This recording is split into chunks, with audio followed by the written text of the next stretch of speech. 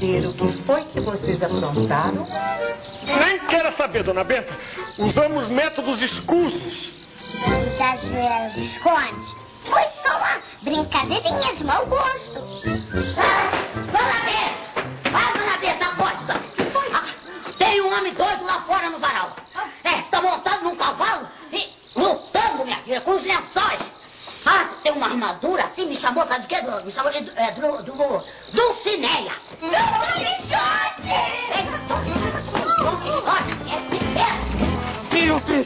Covardes, canalhas! Não se preocupe, minha senhora. Eu arrasarei com todos esses fantasmas.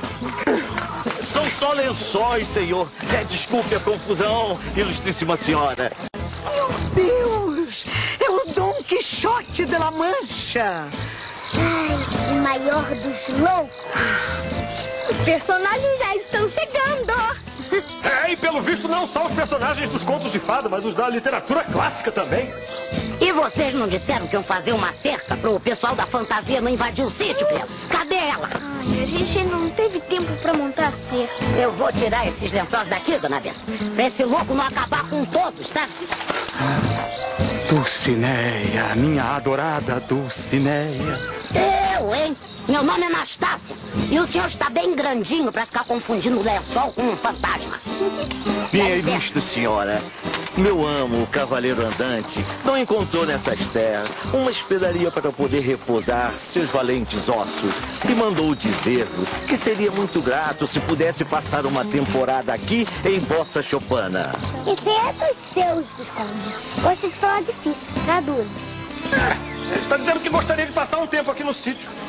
Senhor Sancho, eu combinei com os meus netos que os personagens deveriam ficar do outro lado da cerca. Como ainda não há cerca. Deixa, dona Benta. Os loucos são as pessoas mais interessantes do mundo. Está bem. Grande gosto me dará receber em minha modesta chopana o ilustre fidalgo Dom Quixote de la Mancha. Ah! Vem, vamos montar a cerca.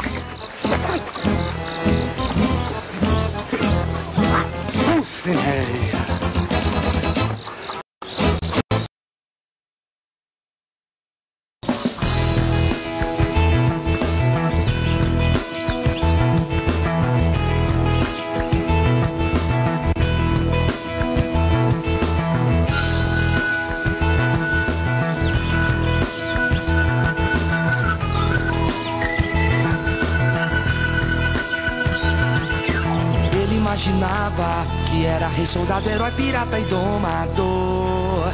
Era o que queria ser, porque era um sonhador.